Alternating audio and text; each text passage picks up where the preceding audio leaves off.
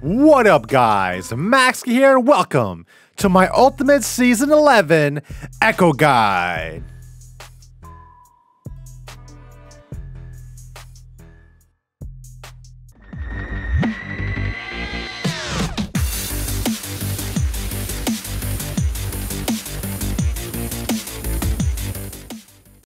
Welcome, everybody. This is the outline to the Ultimate Season 11 Ekko Mid Guide. And before we continue with the outline, I just want to say the information from this guide comes from a compilation of three sources. Firstly, me. I peaked 200 LP Grandmasters on the North American server, going for Challenger next year. Secondly, HawHawNeverLucky. He is the best Ekko in EU West, or the rank 1 EU West Ekko player, really, really good player.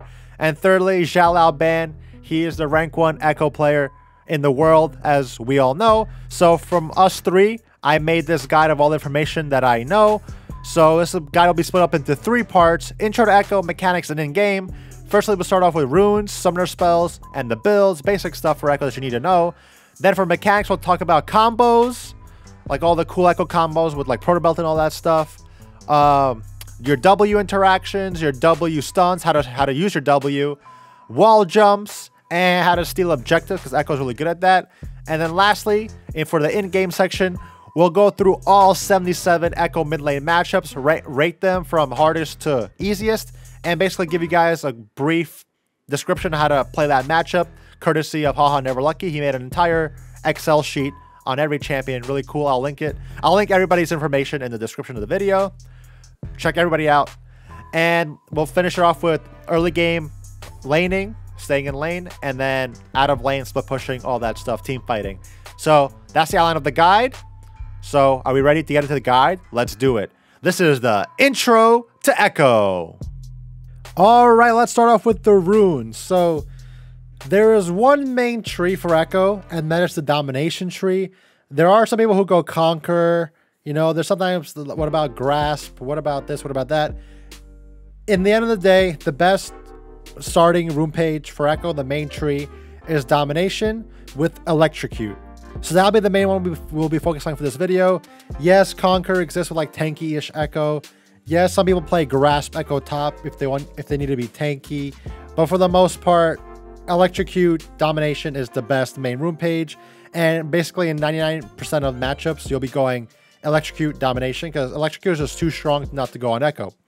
But the second rune trees there's a lot of variability here. So you could go either inspiration, sorcery, or precision second tree.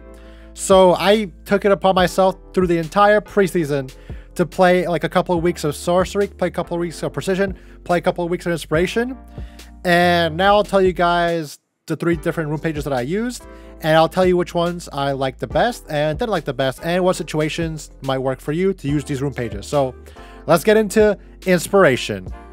So this is the inspiration second tree that I've been using recently. But firstly, for the domination section, it pretty much stays the same all the time. Electrocute Sudden Impact, Eyeball Collection, Ravenous Hunter. Um, the only time it does change is when you're versing a Kassadin. Because Kassadin negates magic damage by like 15%, instead of taking Sudden Impact, if you want to beat Kassadin early game, you could take Cheap Shot. So you do true damage in the early game, which are Q and stuff. So that's the only change. But regardless, the domination tree stays the same. And here we have the inspiration tree. So for the inspiration tree, I use magical boots and biscuits. Last season, we used dematerializers. This season, you don't need dematerializers because in like 80% of your games, you'll be able to one-shot the wave of level 7 just with all the AP that's in the game now. So you not need, you do not need dematerializers. So I go free boots and biscuits. Why free boots? Free boots, they, they're really good because they give you 10 more extra movement speed. But on top of that, you don't have to spend money on boots and you can spend your money on finishing your core main item, Proto. So that's the main reason why I like this rune page. And on top of that, biscuits. So there's like a special start with Ekko now where you go Dark Seal refillable if you want to be really greedy. But it's not that greedy because you'll have TP and you'll have biscuits, which are biscuits are basically like a corrupting potion. And they give you permanent mana. So they're pretty good. So this is a rune page I like. You could go Time Warp Tonic if you like Time Warp Tonic or Corrupting Potion. But honestly, this season, I've been using all these different Ekko starts. And I think Corrupting Potion is kind of outdated nowadays. You can just go for the greedy starts, get away with it, and then just hard 1v9 the game. So that's why I like free boots. And the biscuits are really good for helping you fly through the early game and get to your proto belt. And now the next popular rune page for Ekko is the sorcery rune page. I used this at the start of the preseason because because the CDR went away because all the items don't give you CDR anymore. So Transcendence got a rework, so now it gives you 10 ability haste. And then at level 11, it gives you like uh, resets, like 20% of your cooldown gets refunded when you get a killer assist, which sounds really good, and it is really good.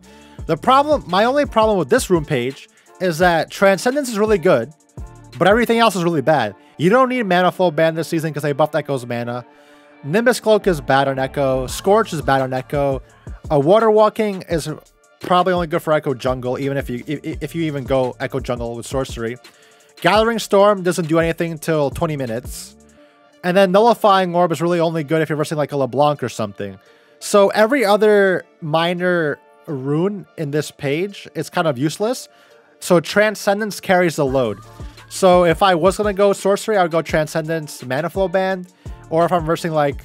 Or Gathering Storm if it's to go like a, if it's like lower reloads and the games usually last longer. Or if I'm versing like a LeBlanc or something, and maybe I'll go Nullifying Orb.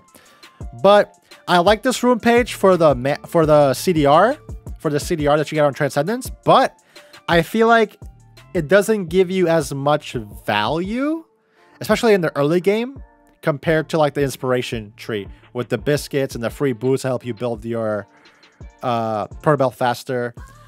So yeah, this rune page is still good. A lot of people use it. I know a lot of high elo players use it. But I just I just hate taking mana flow band. I feel like this rune page is just carried by Transcendence. But if you like the CDR, if you want the CDR, this is the rune page for you. And lastly, the last rune page is Xiao Lao Ban's rune page that he started using a lot this season, and that's Domination Precision. So for the Precision tree, you want to go Presence of Mind with Legend Tenacity. So the thought process behind this rune page is that Presence of Mind basically is like it gives you mana. So you know how Sorcery Tree, the Mana Flow Band gives you mana, Inspiration Tree, the Biscuits give you mana. For the Precision Tree, Presence of Mind gives you the mana, and after you get a kill Presence of Mind, you get even more mana back. So it helps you like prolong a fight if you're if you're down in mana. And if you hit somebody with your abilities, you also get mana back. So it gives you a, a, good amount of mana sustain. But the main reason why you go Precision is for the Legend Tenacity. So this season with Ekko, you only want to build Sorc Boots only Sorc Boots because Sorc Boots works so well with Protobelt's Magic Pen, so you get like true damage so early into the game, especially with Void Staff and all that mythic passive true damage. If you don't go Sorc Boots, you're losing so much damage. So, in order to always go Sorc Boots, Xiao Lao Ban always goes Legend Tenacity. Why? Because you basically get free Merc Treads. You can't get CC'd because you have Legend Tenacity. The problem with this rune page is, is that you shouldn't go this rune page every game because there are some games where the enemy team has no CC, so there's really no reason why you go Legend Tenacity if they have no CC. But I would go this rune page if you're versing an enemy team who has like, you know, has like a TF who gold cards you. If they have Morgana, all those hard CC champions, then I would consider going uh, Legend Tenacity Precision. So those are the three Ekko rune pages that you may want to use. Right now, my favorite is, is, is Inspiration. At the start of preseason, it was Sorcery, and in the middle, it was Precision. So I tried all of them. I liked all of them. But right now, I think I like Inspiration the best. I feel like it fits my playstyle the best. But it's up to you to try out every rune page and see which one works best for you, because everyone plays differently. That being said, those are the rune pages. Let's get into the summoner spells. Alright, so let's talk about summoner spells for Ekko. This one's going to be pretty easy. So the main one is Flash. Always take Flash on Ekko. Pretty much everyone knows why. It's Flash. That's not the question here. The question is about Teleport or Ignite. Some people say go Ignite. Some people go say go Teleport. When do you go Teleport? When do you go Ignite? Well, firstly, in most matchups with Ekko, Teleport is the best option. Teleport helps you split push, helps you survive early game because Ekko's early game is probably his weakest is his weakest point in the game. So Teleport helps you survive early game helps you TP to your side lanes, help your team, helps helps you split push mid to late game. Teleport is very versatile, really good. So that so you, you basically always want to use teleport. But there are times where ignite is actually better for you than teleport. Firstly, in the lower elos, where it's harder to use teleport correctly, because teleport does have a long cooldown, so if you waste your teleport, then you kind of waste a summoner spell. So that's why people tend to tell lower, lower elo players to go ignite, because ignite has half the cooldown of teleport, gives you more kill pressure, and it's, it's hard to mess up using Ignite, right? But if you're a lower elos, you can still use TP because that's a good time to start learning how to use TP. If you'll never learn how to use it if you don't use it, right? But the main points that you use Ignite are versus healers, so Sylas, Vlad, Soraka, Hecarim jungle. If you want anti-healing and lane priority more damage, then you go Ignite, right? Another time that you go Ignite is if you have to kill enemy mid laner, right? Like you're versing a Kassadin. Kassadin will, out, will outscale you, so but you do have a window to kill him in the early game, right? So, especially, so that's why you take Ignite, so you, you kill him early. Or you're versing like a hard, like a super hard matchup like Aurelia. Sometimes you want to take TP into super hard matchups, but if you have a ganking jungler, let's say like a Rek'Sai or like a Kha'Zix, like a good early game high damage jungler, then you take Ignite and you try to kill the OP mid laner, right? So those are the basically the times where you want to go Ignite versus TP. Most games you'd want to go TP. There and in less situations you want to go Ignite, and those situations are for anti-healing and early kill pressure. But that being said, let's get into Ekko's builds. So for Ekko's build, I posted the dream build on the screen. This is the build that I go to every game. There's not much variety anymore in Season 11. You basically just do one thing, carry the game, that's it. Uh, literally, because they kind of messed up the items. And there's actually less variety now. Unlucky. But anyway, so this is the, I'm going to describe every part of this build, and it's pretty simple as to why you do this. Number one, for starting items, you could go Corrupting Potion, Dark Seal, or Doran's Ring. So for me, right now I start Dark Seal with Refillable. And then I either back for a Doran's Ring if I need extra HP and sustain, or I go straight through Proto to Proto Belt. Why? Because if you build Corrupting Potion, Dark Seal, and Doran's Ring, you're wasting a lot of gold. You need to get your Proto Belt. Proto Belt is a lot more expensive this season, but a lot stronger. So you want to get to as fast as possible. I don't start Corrupting Potion anymore either, although you still could. I just feel like it's also a little bit of waste of gold, especially because we don't use Time Warp Tonic anymore. If you're using Time Warp Tonic, if you like that rune, then you have to go Corrupting Potion. But because we're not using that rune, Dark Seal doesn't buff the healing from Corrupting Potion anymore. So Corrupting Potion did get sort of a nerf this season. So the greediest, but also most cost-efficient start is Dark Seal refillable. And then depending on your matchup, you want to you back, you get you start building your uh, proto belt. But if you're versing a really strong matchup, like a hard one, go Doran's Ring as well for more early game power. But then you go proto belt into Sorc boots. Always build Sorc boots. Sorc boots are so strong a proto belt mythic passive. You you never need tabbies. You never need merc unless you want to get carried. I'm sorry. Sorc boots will help you 109 every game. If you're versing a Sylas, you could build anti-healing with, with Oblivion Orb and sit on that till last item or versing like a Vlad. If you got those juicy Mejai stacks, rush the Mejai's and don't die, and then super snowball the game. Mejai's also gives you the mythic passive of Proto Belt, so it has even more value. And then, after your Proto Sorc Boots, maybe Mejai's, you go Nashor's Tooth. So I started doing Nashor's Tooth last season. It became very popular. Nashor's Tooth this season is better than Lich in every way, aside from movement speed. But if you go magical footwear, you almost have a good amount of movement speed with Nashor's Tooth. Because Lich Bane gives you 10% more movement speed, that's all it gives you though. Based on damage-wise. Nashor's Tooth equals Lich Bane Burst, because it gives you 20 more AP than Lich Bane. Nashor's Tooth gives you a lot more attack speed, and on hit, that helps you fight bruisers, which Lich Bane does not let you do. And Nashor's Tooth is really good for split pushing, because you get to have faster auto attack speed. So Lich, uh, so Nashor's Tooth is a lot more versatile than Lichbane. There are some games where you might want to go Lichbane just for the movement speed, because if the enemy team has like a lot of high mobility champions, then you might want the movement speed from Lichbane. But aside from that, Nashor's Tooth beats Lichbane every single way. Then after Nashor's Tooth, you have two choices. You either have Void Staff, if the enemy team has over 55 MR on multiple members, go Void Staff, because then Void Staff becomes really strong. If not, Go Death Cap, and then last item, Void Staff. And by this time, you should have Proto Belt, Sorc Boots, Nashors, Void, Death Cap, Mejai's. That is six items. If you don't have your Mejai stacked, maybe go for a Morellonomicon or maybe a maybe a Zhonya's, maybe a Banshees, maybe a Demonic Embrace. Last item's really up to you. Usually games don't go that long, but it's really up to you. And then make sure you buy Elixir of Sorcery when you have a full build, because it gives you a, fat amount of damage and AP. So this is a core build for me.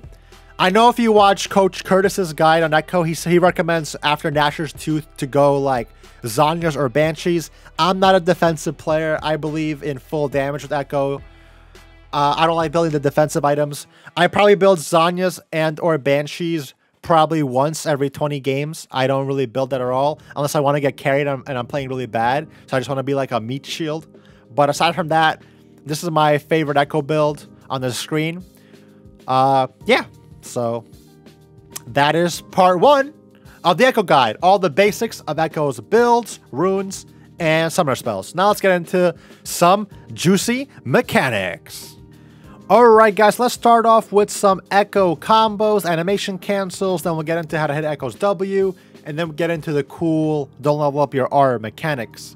So, there's not that many Ekko mechanics. Ekko's more of a champion that is easy to learn, hard to master. That's why you always see pro players and competitive because you can't learn uh, Ekko to a, to a really high level in a short amount of time. You have to really know his limits and really know how to use his combos and when to use his combos. So the most basic combo is just E, click, Q, auto attack. So just E, click, Q, auto attack, boom.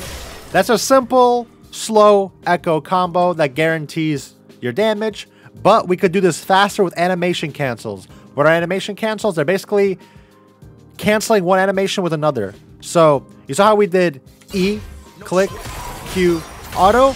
Well, you can do this really fast by clicking E, then Q really fast. So look, I do EQ, boom. A lot faster, right? So that's the animation, the EQ animation cancel. That's your main combo. It's your fastest burst and you run away, right? EQ, boom. You see how I do a slide? So that's the most basic, but also most important Ekko animation cancel. So now let's go into more animation cancels. You could do, you could, so if you want to throw your W and then you want to E onto somebody, right? Well, you could actually cancel your W animation with your E. So you could do EW and you do a nice slide. Let's do that one more time. You see that slide? It's really fast. You can also do this. Not all, you can also do this to get away, right? So say you're running away. Instead of going in on somebody, you could also do it to run away because you sort of like get a fast slide to run away, run safely away. So that so we showed QE, we showed EW. There are some interesting animation cancels that we don't really use that much, like Q Proto Belt. See how your Proto Belt and Q happen at the same time? That you don't really use that much by itself. There's also E Proto Belt. You see how the you cancel one of the dashes, so you you don't really use that either, because why would you want to cancel one of the dashes? But just so you guys know, but the biggest actually right before I go into the biggest Ekko combo, here's another Ekko combo that's used for running away. So you're versing like a Yasuo or a Fizz, someone who jumps on you, right? Instead of doing instead of doing this, right? The standard combo, they come at you. So you want to do this. You want to let me wait till my passer comes back. You want to auto attack, E back, Q, boom. This way, you E backwards so they can't hit you. You Q them for the slow. You pop them, get the movement speed, and run away. So let's do that one more time. Auto, E back, throw a Q, click, run away. So that's like the defensive Ekko combo. Let's do that. Let's do it faster. Auto, boom. Boom, run away. Really good, really good. And now for the most popular, well, the best Ekko combo. It has to do with Proto Belt. That's why Proto Belt is really amazing on Ekko, because it allows you to do this combo. So we saw the EQ animation combo, right? Now we'll throw in the Proto Belt into that combo. So you want to do EQ, Proto Belt, boom. That is the ultimate Ekko combo. Insane burst, insane damage, and it's beautiful. Let's see that. Let's see that one more time. Nice. Really good combo. One thing to note Proto Belt was changed this season, so like if I Proto Belt uh, uh, uh, the minion, right? It doesn't matter if multiple bolts hit the enemy because they last season it was splash. This season doesn't splash, but this season you get movement speed. So instead of like Proto Belting close range like this, there are times now in this season where, because of the movement speed, you want to proto belt from far away and then get the movement speed to catch up to the enemy, right? So you don't always have to proto belt point blank because it doesn't really do extra damage. You want to proto belt sometimes if they're really, really far away from you to catch up to them with the movement speed. So just, just a note. And one more thing to note about proto belt: proto belt can also poop. And what I mean by that is, proto belt can also poop. Look. See, you do damage coming out your butt. So proto belt can also poop. So that's why if you do this, you still hit them because you pooped behind them, you know? So that's one thing to note. And uh, quickly, uh, some W interactions. So obviously, when you throw your W, if you walk, they get slowed, right? But when you walk into it, they get stunned. Well, you don't have to actually be inside your W for them to get stunned. For example, your ult could do it.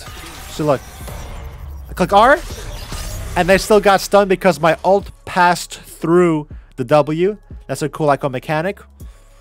And some other mechanics that make that make the game easier for you.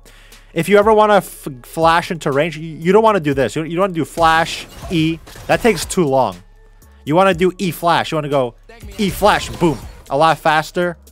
Also, if you ever want to ult to the target, you don't want to do this. Well, you could do it. It still works sometimes. But if you do this, that is slow, right?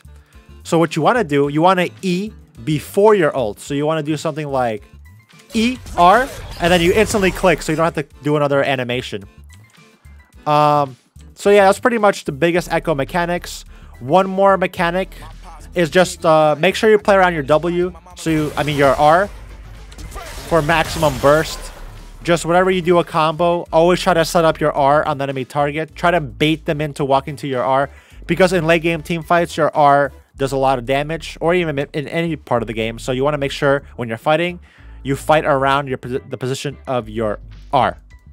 So those are the main things to know about Ekko combos. Uh, little things, you could use your Proto Belt to dodge skill shots. You could use your E to dodge skill shots. You could use your your E to redirect your Qs, like just, you know, reposition yourself. And one more thing to note, at max range, your Q will instantly double stack. So what does that mean? Look, this is a max range Q. Instant double stack. So that's how you, so you can always surprise enemy if they're at max range with an instant double stack. It surprises them a lot. But as far as combos and basic stuff, that's pretty much all you need to know in Ekko. Just gotta master it, learn your limits. So let's get into some, uh, some. Let's talk about W placement and the not leveling up your R at level six trick. So now let's talk about hitting Ekko's W. I'll show the clip from the start of the of the Ekko guy because it's really good W, and we'll talk about how I hit it. So firstly, Ekko W, I say is less of a mechanical skill and more of a mental skill, like a brain skill. Why? Because the point of Ekko's W, you have to predict the movements of the enemy or your movements three seconds in advance, right? So you either predict where you want to go in three seconds, or you predict where the enemy wants to go in three seconds, or you combine both where you want to go, where you want the enemy to go, and boom, you combine it all in a three second time span. So, so for W, so how do you like do that? How do you how do you know about anything about a W? It's just about playing the game enough to know what the enemy wants to do. So why did I throw my W here? I threw my W here because the enemy is chasing my my Xin Zhao, so I know so I know they want to kill him, and on top of that, I know the speed of enemy champion, so I know in three seconds they'll be in this spot. They won't they won't be past the bush. They won't be going in some weird direction. I know what enemy wants to do. I know they want to chase my team. I know their movement speed. So what I so what do I do? I throw my W in a spot where they're gonna be and a spot that I can get to. So the biggest thing like you can't teach Ekko W. You have to learn it yourself. You have to learn how the enemy plays in your elo because this is this is a diamond one game, right? So I just hard predicted how a Diamond 1 player would move. And I, got, I basically got a four-man stun. Obviously, they, one of them flashed out of it. But So you just have to mentally gap and use your 3000 IQ to predict the enemy's movements or bait them into the movement that you want them to do. So that's basically how you hit Ekko's W. There's not much more I can say about it. It's literally just practice. Practice predicting enemy, the enemy and practice manipulating the enemy and to get him to go where you want them to go. Or where you want to go. So that's how you basically a brief description how to use Ekko's W. So now let's talk about the famous Ekko don't level up your R level 6 trick. I remember I started doing this at the preseason 10, so a year ago. So I had a year of practice doing this. It's uh, it's very hard to learn in the beginning because you'll you'll mess up a lot. I messed up a lot, but trust me, it's really good. Although people are starting to now understand that okay, Ekko didn't level up as our level six. Watch out, but they still don't know where your R is because they, they they don't keep track where your R was four seconds ago. That is your skill, not theirs. So you'll always have an advantage. You'll always catch them off guard. It's especially good versus junglers. Like if you're in a jungle fight or you're ganking bot and, and you don't level up your R yet, the jungler, the bot laners, they don't know that you don't have R. They're not watching mid lane, you know. So it's very, it's a very, really strong trick to get a lot of free kills and a lot of baits as well. So let's get into how you do this. So basically, practice makes perfect for everything. But I'm gonna show you guys this clip that you just got, you just watch on screen how I kill a Syndra. So basically, I'm fighting a Syndra in lane, right? I don't I don't level up my R yet. So what do I do? I fight Syndra normally. EQ. I don't want to auto attack because I knew she would CC me, so I just wanted to like run away to dodge her stun. She actually messed up, actually. But anyway, now she's she, this is a perfect spot because she's in kill range, right? And she's walking into my R. I know this. She doesn't know this. I know this because I know where my R was. Count one, two, three, four. R. Boom. I catch her by surprise. I level up my R, catch her by surprise. Now I'm actually behind her, which is even better. Hit her with my R. Boom, auto attack, and now I get the passive, and she can't escape. So this trick gets you so many kills, so many baits. Practice makes perfect on this. You just have to learn, learn and memorize where your R was four seconds ago. It'll become second nature to you once you do it a couple of times. In the beginning, it was really hard for me, but after a couple of months, it becomes bread and butter. So that is the don't level up your R at level 6 trick and how it's done in action. You can bait a lot of people doing this. I suggest recommend I, I, I actually really recommend you doing this. It's really cool, high advanced Ekko trick to learn. And the more advanced tricks the more advanced tricks you learn, the better you become as Ekko. So yeah, get go out and learn it. So let's get into wall jumps now. This one's pretty easy. What's a wall jump? It's just using your E to go through terrain. So you could go through towers. You could go through tiny walls like this. So I'm not going to show every jump. I'm going to show the different thicknesses. So this is like, I would say, little thickness. Towers are little thickness. Like this. Uh, I would say this is medium thickness. Can still go through this. This is a popular one. This is pretty thick. Have to stand right at the edge. And you could do that. You could do... This wall is also pretty thick. You have to be right here in this spot. Click E. Nice. This is a skinnier wall You can do this one as well. This is the same thing as this wall, except you could do it this way. This wall you could also do is pretty thick. Nice. So you just have to get you can just practice this really easily. You could do this wall. It's pretty thick as well. You gotta make sure you get the right spot though. Uh, you obviously you could do the Baron wall. You could also do Baron right here. That's a pretty big one right here. You could do that. So I'm, I'm, I'm just trying to give you guys ideas what you could do. Um, so yeah, that's, that's pretty much all the thicknesses. There's one really thick wall. Let me teleport. I could just teleport to it. Oh, I could just walk. So one of the thickest walls is... This wall's pretty thick too. too. Make sure you stand. See, this one you can't go all the way. You see how your character goes here? But you could still do it. But you, it's easy to mess this one up. And then you could also do it back. But you see how you like don't go to the edge? So you could mess this one up. Especially if you go like this, you'll mess it up. You have to go this way. But this is the thickest wall right here. This one's pretty hard to do in a game. You have to stand right here. I might even mess this up. Yeah, see? This one's very hard. You have to aim right here. Yeah, boom. And you can also do it backwards. Also really hard. You have to go right here, aim right here. Boom. So this one's really hard to do. If you pull this off in a game, everyone will be like, you're smurfing. You have to like, flash, E. See, it's really hard. Let me try again. Flash, E. Third time charm. Flash, E. It's pretty hard to do. And there's actually even harder wall. That's like a... I would say this wall is like a 30% success rate, and there's an even harder wall that if I teleport to... Where's that button? Maybe I just walk there. Okay. So apparently, you could dash this wall as well. This is basically the opposite of this one, but a lot harder because of the angle. I'm not sure I'll be able even to do it first try, but it's really hard. I would say this is like a 5% chance in game to do it. Because like your E doesn't even like... I might, I might not even do this.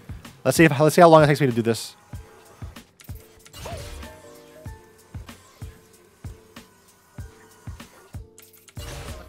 Okay, you get the idea. It's hard. Alright, so now we'll talk about objective control and stealing with Ekko because it's something that Ekko does very well and you should get used to doing it. You're basically a second jungler.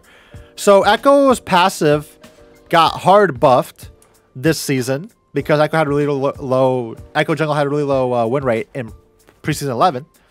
So they removed the, the cap on monster damage on your passive and they gave you 250% more damage so that's kind of insane. So this is like late game Ekko. Look how easy it is to steal a Baron. So how would you steal a Baron? Well, firstly, you want to get Vision, right? Throw your W. And then you get Vision like this also, because your W gets Vision. And if you want to kill enemy jungler, try to kill them. But if not, let's say you just want to go for the Baron, so you, you don't want to kill them. You could kill them. Let's say you want to go for the Baron instead, because let's say all five of them are alive. You, you don't want to int. You got to save your game. Your team inted. So it's really, it's impossible for the enemy to outsmite Ekko. It's literally impossible. Why? Because Ekko's W damage does 150 more damage to Baron and monsters if they're low HP, which Baron will probably be, which Baron will probably be because you're trying to steal it. Your passive does uncapped damage. So look how much you can do. So what you want to do is you want to throw your W for vision. Then you want to throw out your Q. And then you want to sit on your passive. So you're going to do like 500 damage, 700 damage here. You sit on your Q. Boom. You have two stacks. 2,000 damage. You sit on those two stacks, wait for the last moment, pop. Let's do that again. So you're going to throw out your Q. You're getting ready, you're getting ready, getting ready. You, have two stacks. You wait a second, you wait a second, you wait a second. Boom, 2,000 damage. There's no way the enemy jungler could smite. Well, they, they can't. Smite doesn't do 2,000 damage. So at basically at 2,000 HP, you could just kill Baron with your passive if you're like this fed. But let's say it's not late game. Let's say it's like, uh, let's say it's uh, early game, right? Or like, let's say mid-game. Let's say you only have, let's say you have these items. Let's just say you have these items, right? 300 AP. That's that's pretty pretty average, right? Let's see how much damage you do here. I am level 18 though, so take that into consideration. But let's say you only have 300 AP.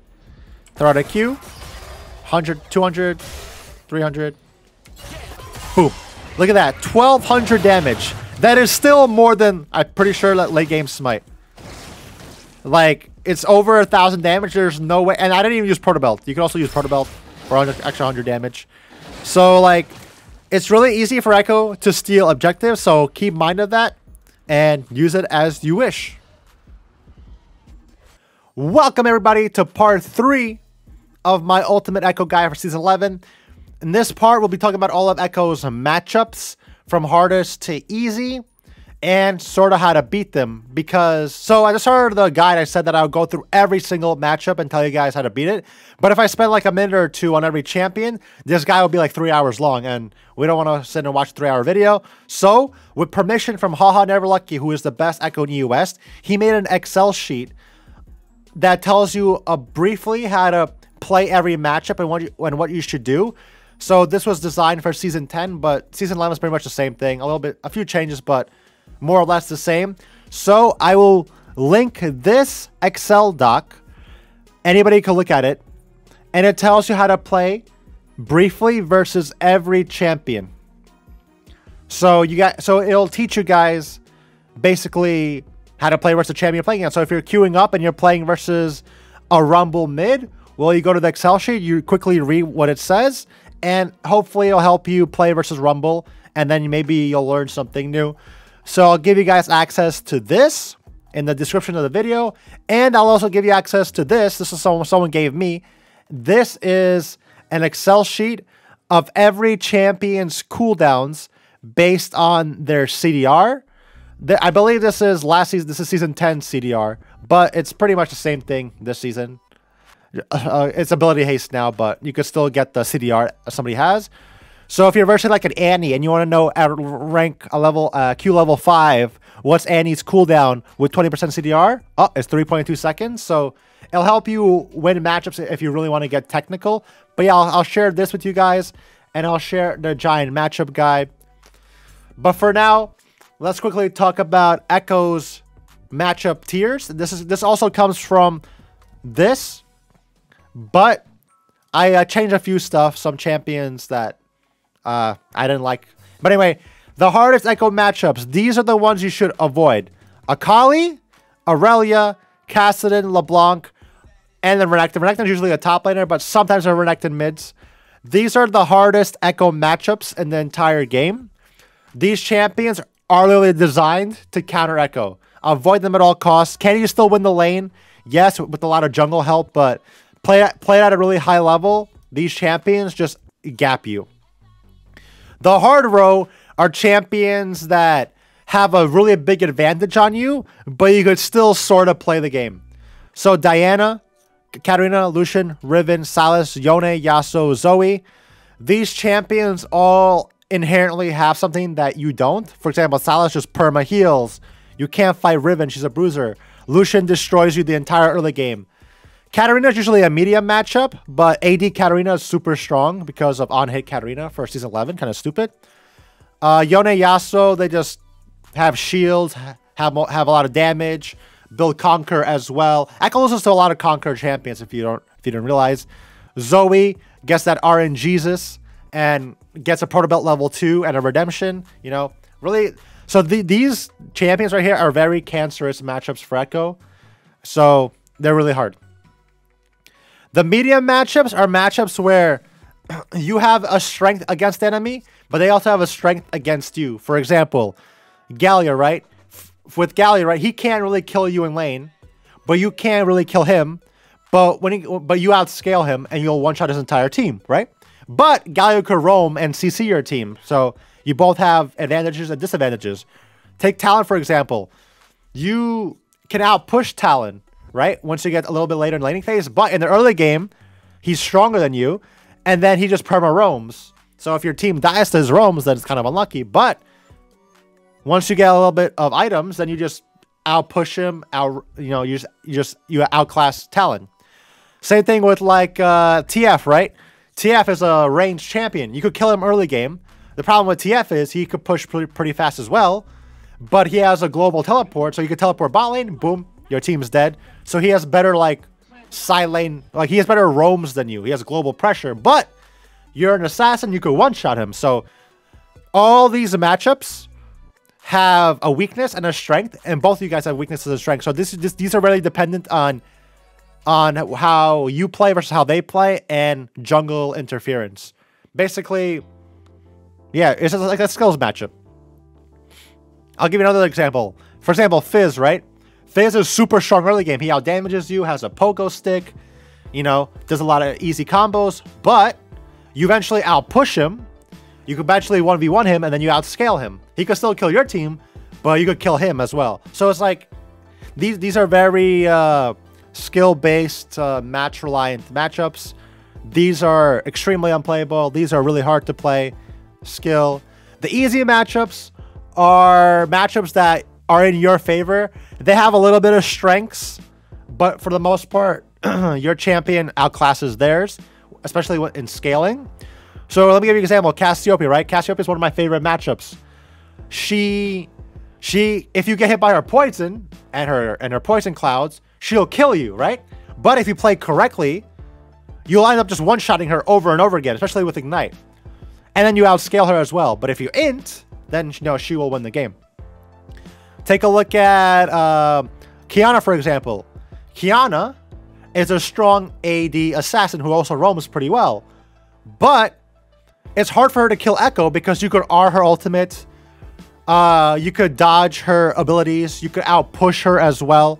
So if you into if you into her, if you die to her early, then yeah, it'll be pretty hard for you because she'll she'll snowball. But if you play normally, because it's an easy matchup, you'll just outscale her and win the game.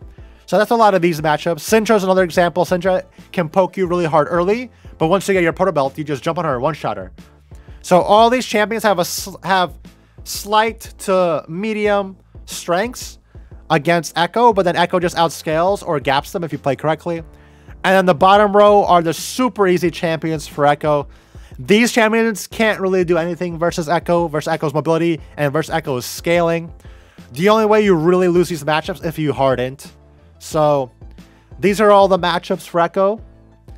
Um, just so you guys know and familiar. I would ban the top row and maybe the second row as well. Everybody else here, you don't really need a ban, but very hard and hard, you should focus on banning. And like I said, if you want to learn how to play these matchups, the Excel sheet gives you a lot of help. But yeah, let's get into some laning. Welcome everybody to the laning slash out of laning part of this Ekko guide. I thought the best way to show you guys how to lane with Ekko and how to play out of lane with Ekko is by actually showing you an actual game, a really good game that I had on stream and I'm and I'm voice overing it, sort of like an inside my Ekko Mine video. So it's better than having just text on screen saying you should do this, you should do this. I want to actually show you guys what I do, what I do right, and what I do wrong. It's it's good to learn from mistakes as well. So yeah, so that's what we're to do. So I'm doing the Dark Seal refillable start with Teleport, Biscuits, Free Boots as, as my runes and items. And I'm versing a Viktor. Viktor's considered an easy matchup, but he does have his strengths, which is his poke. And Viktor actually is pretty strong this season with scaling, because he, he no longer has to build his Hex Core items, so he can build normal items. But first things first, don't throw a Q instantly when the wave starts. That's bad. You don't want to push the wave. A good player will let will freeze the wave and then he'll get permaganked. So see, we're, we're playing really far back because we, we don't want Viktor's strength, which is poke, to affect us. Here I throw a Q to get some minions. And actually, this was a bad Q because I was too close when I threw the Q. So I actually hit the, the range minions. So now the wave is pushing towards Viktor. And I didn't I didn't want this to happen. But, you know, sometimes we make mistakes, sometimes it happens, but we could correct this. So now what we want to do, we want to crash the wave. So if you're ever in a situation where, oh, no, I pushed the wave, I don't want him to freeze, now you have to crash the wave. Luckily, Viktor doesn't have amazing wave clear, and he's not that good early game.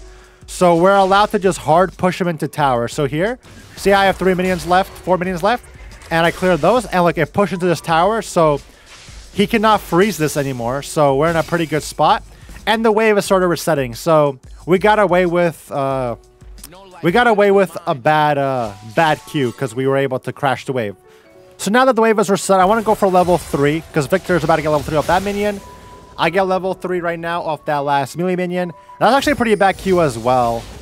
Sort of, yeah, that's a pretty bad Q. But I see a gank in the top lane happening. I wasn't going to TP to this, but I saw a double flash.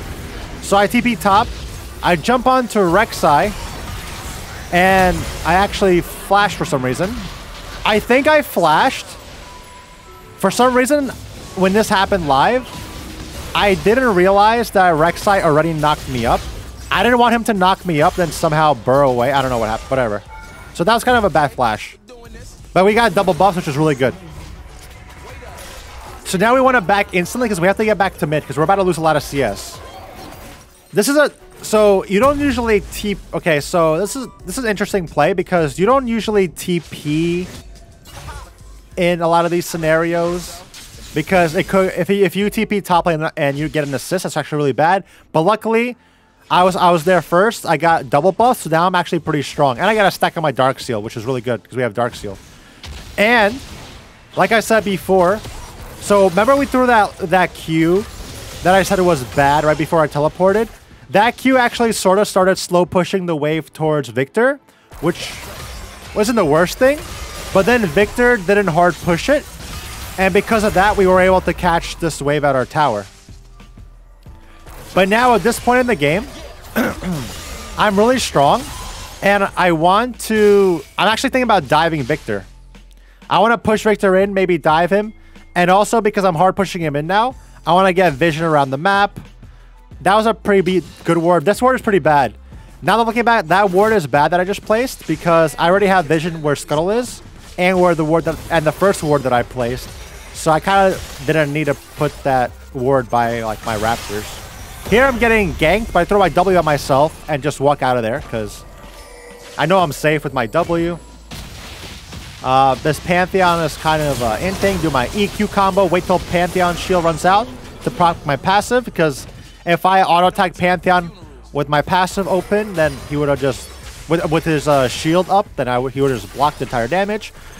And so here I'm hard pushing the wave because Viktor can't clear this wave, and I want to dive him. I see him on my bot lanes ready for a dive. We don't want him to back. We want to push the wave, and now we want to dive him. That's really bad for Viktor. This is a very good early game for us. So, some takeaways so far. We we threw two bad cues. This is good. We have to learn. We're learning together. This is the point of a, of a guide. We threw two bad Qs. We wasted a flash top. We still got a kill, though. Viktor actually made a mistake. He should have hard shoved the wave as soon as I TP'd. Instead, he, he like let it slow push, and then he decided to push it, but it was too late because I don't know. I, don't, I really don't know what Viktor what happened with Viktor because I still got that entire mid wave. And then Viktor Viktor has TP, and he he didn't want to back. He didn't want to back, and because he didn't back, he had no mana. So we hard pushed the wave, forced them to make a decision: Do I back and lose a wave, or do I stay and try to farm this with no mana? He decided to stay and farm it with no mana, and then because of that, we just dove him, and then he lost the wave anyway, and he died. So now we so now we have a really good early game going for us. So now we're in the point of the game where we're, we're in the driver's seat, right? We I have three kills, and I have six Dark Seal stacks, which is which is insane. That's like what 30 AP just for my Dark Seal, I think, right? Insane AP for my Dark Seal. But now we don't we want to like impact the entire map. So what did I do? I came back to lane, insta pushed the wave because we have we have 149 AP. You actually need 120 AP at level 7 to one-shot the wave with a level 4 Q. So we're about we're about to be there, but I could still just destroy the wave with the 150 AP. And now I'm ganking bot lane because I pushed away mid. I throw my W where I want my Samir to go and where I want to go. Rek'Sai sees that and he's like, nope. Makes a U-turn. Jhin accepts his fate. And least I gets a kill on Pantheon. I want to get I want to get that kill because I would have gotten 10 Dark Seal stacks, but it's fine. Clear this pink ward for gold. And now we're Omega strong. And we're level 7, so now we just perma push the wave. So this is where you have to press your lead, right? If I'm 4-0 in Ekko, I gotta start dominating the game. If I'm 4-0 and I do nothing, then I'm kind of wasting, you know, everything, right? So now, because I have 161 AP. I have 161 AP. So now at this point of the game, I could I could trade on Viktor whenever I want. Two co one combo, he has he loses like 40% HP. So basically in two and a half combos, he's he's dead. So I own this lane. As soon as the wave comes up now, I could throw a Q and one-shot it. And after I do that, I could either roam, get tower plates, dive him, get vision, help my jungler. Like I could, whatever I want to do, I could do now. And that's just what you have to understand. At this point now, I could do whatever I want to do. I would have dove Viktor here, but I saw Pantheon coming on the minimap and someone cleared that ward right there. So I'm going to try to 2v1 here. I have 167 AP and Pantheon's level 5. So I'm going to try to bait Pantheon in here. This is a D1 game, by the way. Wait till this thing goes away. Ah. Look at that, guys. Uh, 167 AP, level 7 Ekko. Could not one-shot a level 5 Pantheon. Just saying. Ekko's OP. If I was a Talon with the serrated Dirk, I would have one-shot Viktor and Talon, uh, Viktor and Pantheon at the same time. Just saying. Just saying. So now we got the power spike. If you guys watch Coach Curtis's Ekko guide, he says that once Ekko basically hatches into a champion when he gets Proto Belt. And that is true. At this point in the game, like, if you lose this game and you're 4-0 in Ekko, it's your fault. It's no one else's fault, it's your fault. Because this game is free. There's no way you don't win this game. Their mid laner does not exist. You one-shot everybody. Except Pantheon, because for some reason you can't kill a Pantheon level 5. Anyway. But now I just perma push the wave. Like I said, you don't want you don't want to freeze at this point because you don't want to freeze an Ekko after level seven because you have you one shot the wave, you get perma priority, And you could do stuff like this where you could just die Viktor instantly. And you can roam to silence, get vision, do whatever you want, help your jungler, get tower plates. Because if I freeze, I lose Ekko's biggest strength, which is his wave clear and his priority, right? So that's why you don't really freeze after like you can start one-shotting the wave. I don't know what my Lee Sin was doing there. But I would say it's 10 minutes now. So that was the end of laning phase. Um, I would have flashed here, but it's not kind of it's not worth it. It's not guaranteed kill. Want to play a little bit smarter now. The score is six to nine. Oh, Pantheon ults me here. Throw my W on myself. Proc my passive on Pantheon. Make sure to click R. R behind him so I get that kill. Protobelt onto... Oh, I messed my Q there, but still got the kill on Ryze. So I am Omega Fed now. Take enemy jungle camps. Okay, like so we're, we're out of laning phase now. So the first 10 minutes of the game were laning phase. Uh, some takeaways. We were versing an easy lane. So Viktor's considered an easy lane, but he does have his poke damage, which makes him not super easy because Viktor can be really annoying, especially depending how good he is. So some takeaways. Don't instantly throw a Q at the wave. Make sure you only throw a Q at like the melee minions to try to like last hit them. If you do accidentally mess up, like we did with, with two Qs, I believe, and start slow pushing the wave, try to crash the wave as fast as possible so they don't freeze it. And then, because if they freeze it, you'll get ganked. Then it's hard for Ekko to break a freeze. But like I said, we're versing a Viktor, so Viktor is not the best at holding a freeze versus Ekko. If we were versing someone like, I don't know, a Yasuo, and we did it, and we did that, it could have been really bad for us. Um, we use our TP aggressively in the, in the, in the early game to teleport top, and we ended up getting a kill for we we, we, we, we wasted our flash, but we acknowledged that. But we TP for a guaranteed kill, and then Viktor didn't push in the mid wave. He was like last hitting for some reason. He should have pushed it in. I would have lost a lot of minions. But we still got a kill because Viktor, and we still got that wave because Viktor didn't hard push it. Maybe he couldn't, maybe he tried to roam top or something. But whatever, he didn't push the wave, so he got the wave. And then I killed Pantheon with the assistance of my jungler. I avoided a gank. Outplayed a gank. Killed enemy jungler. And then Viktor didn't want to back because he, he we were hard pushing the wave. And he had no mana and like 70% HP. And because we hard pushed the wave, we didn't let him back. So he had to make a choice. Do I back and lose the wave? Or do I try to stay and get the wave? Because I don't want to I don't want to lose the wave. And then Viktor decided to stay. We dove in with my team. And he lost the wave anyway. And then we put then we got back, pushed the wave again, went bot side, ganked their bot lane, and then rinse and repeat. And that's how we won mid lane. So obviously, like I said, this was an easy mid lane, but I have a lot of videos on my channel for different type of mid lane games. And after this guide, I'll be posting a lot of content for season 11, obviously. So if you didn't want to, if you didn't want to uh, watch a Viktor game, don't worry. We'll have a lot more games coming in the future on this channel. But now let's enter the the mid and uh, eventually late game of this Ekko guide. So now we're in the mid game, right? We don't want an ARAM. That's not what Ekko does. We don't want ARAM. We have teleport. We're building Nashor's Tooth. We want to play Silane. So one thing I've been doing a lot more now, I've been taking jungle camps. So Ekko can one-shot jungle camps very easily now because of the Ekko buffs that happen. So you want to take your jungler's camps and enemy jungler's camps when your jungler is doing something else. So my jungler was doing dragon. So what did I do? I took his entire blue side. Why? Because he still has his entire red side.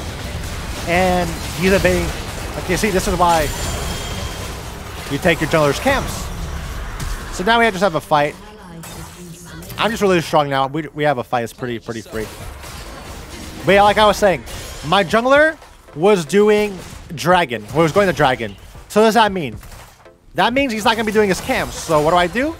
I go and take his blue side camps, and then he's going to back, and he'll get his red side camps. He'll get his raptors, he'll get his golems. That's fine. And by the time he does that, his camps will eventually become start spawning again, so he'll get those blue camps anyway, right?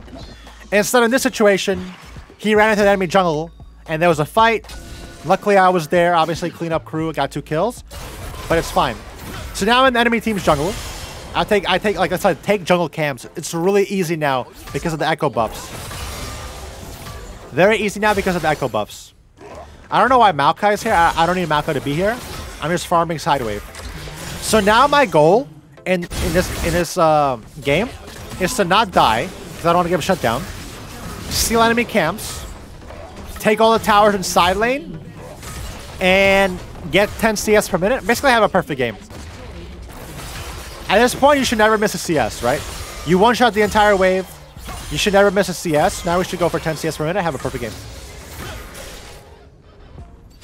And my mid to late game is a lot easier. Oh, I'm getting, we're getting jumped on by Pantheon.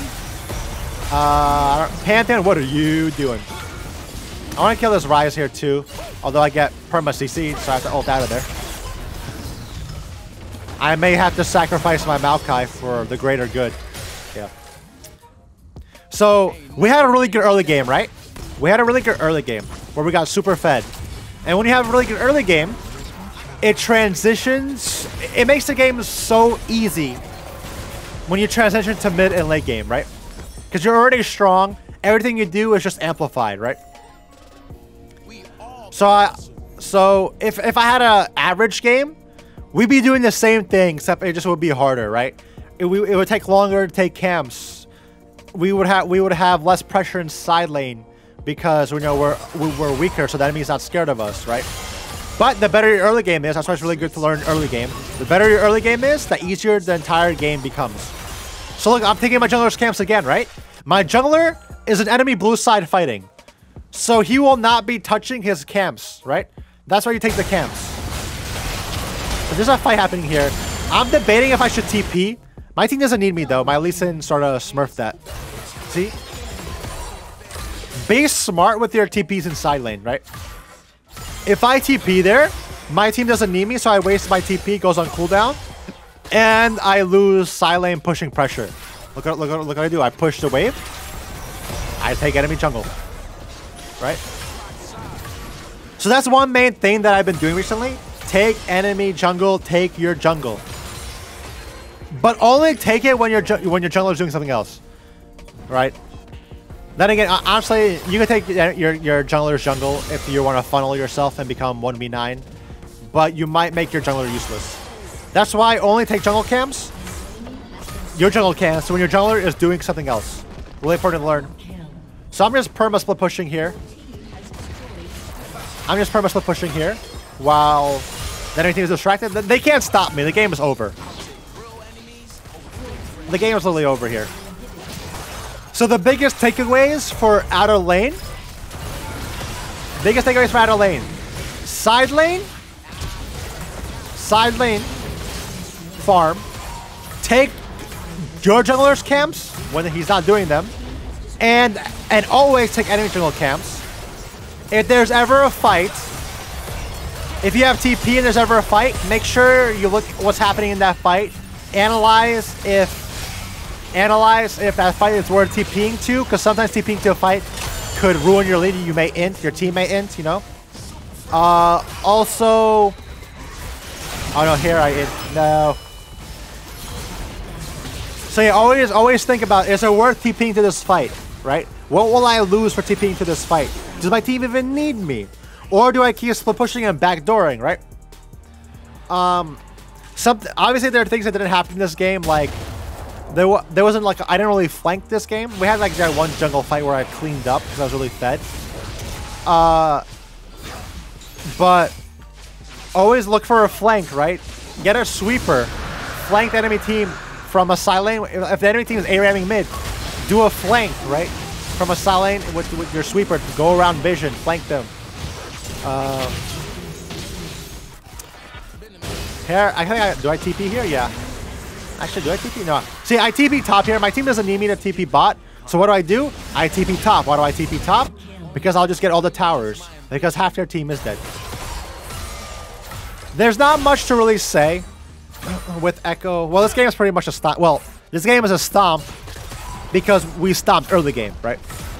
So this is how easy the game feels when Ekko wins early game.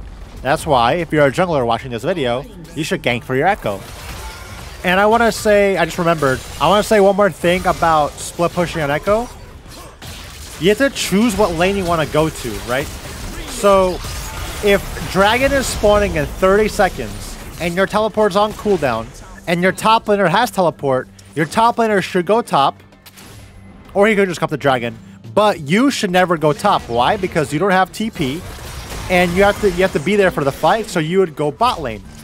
And let's say Dragon is down, and Baron is spawning in, let's say, a minute 30 seconds, and you don't have TP.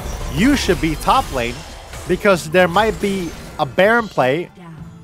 You have to get Baron vision, and you have to push top wave, so you have priority for Baron. So knowing which lane to be is pretty important as well when you're split pushing. Always be in the lane that is close to the next objective when you don't have TP. But if you have if you do have TP, then you could be in the opposite lane, causing trouble and playing with the enemy's head because oh my god, does Ekko have TP? Oh my god, Ekko has TP. Be careful. Or yeah, always be a threat. So that's just some stuff for out of laning. Ekko out of laning is just split pushing, taking farms, and fighting. That's basically all, all, all it is. But yeah, I hope you guys learned something from this VOD for, of about laning and out of laning. Uh, next part of this, uh, we'll have a lot more videos with Ekko. It's, it's Ekko YouTube channel, obviously. But next part of this video, which will be the last part of the guide, will be about stuff that I missed. They'll be pretty quick. But yeah, let's get right into it. So lastly, to finish off this guide, I want to say some things that I forgot to mention about Ekko's abilities and some other things to note. Firstly, Ekko's Q at, rank 4, when your champion is level 7, you could one-shot the wave, the caster minions, the range minions, with 120 AP. This is when you get your dominating wave clear. Ekko can use his W to stun minions, so you want to do this if you want to like hold the wave or tank the minions, stop them from crashing into your tower. Very useful. You can also use your W for vision. So your W gives you vision where you don't have like where you where you don't it's basically like a ward, a temporary ward. So throw your W into Baron Pit to see if the enemy's doing Baron. Throw your W into bushes to see if the enemy's in there. So Ekko's W is good for that as well. You can use your E to follow enemy dashes. So if if you time your E blink when you click on enemy champion at the right time and they flash, you'll follow them. Or for example, like Zoe, you know how Zoe uses R and she like teleports to an area, and then teleports back. If you press E on her at the, at the perfect time, you will follow her back to her original location. So Ekko's E is really useful there. And also, you could use Ekko's R to ult back to lane. You should only do this if you if you have mana, if you have mana, if you want to ult back to lane to get a wave so you don't fall back behind in CS. You don't do this often. You only do it in rare scenarios where you'll be fine, you'll be safe but you want to get the extra CS, you want to get the extra, you know, XP. Or you could also do it if you want if you want to be really fancy. If you you are back to lane and one shot somebody and you hit them with your R from base, that's pretty cool as well. but anyway, that's some stuff about Ekko's abilities. If I missed anything in this guide, please comment comment down below. If I missed anything, I'll also comment it down below. Um, so yeah, and lastly, if you want to improve on Ekko, Try to be MVP every game. What does MVP mean? If you go to op.gg, look at your match history. If you played the best on your team based on, you know, their calculations, you get the MVP, a little gold MVP thing, or you get ace if your team loses. Try to be MVP every game. This is this is what Xiao Lao Ban does in Korea or or or in China. He literally goes for MVP every game because he's the best player in the game. So if you're not getting MVP every game, that means there's always something for you to improve on. So watch out for that. Look out for that. But anyway, that is my Ekko guide for Season 11. We'll have a lot more Ekko videos. Hope you guys enjoyed. Comment, like, and subscribe. And I'll see you guys in the next one.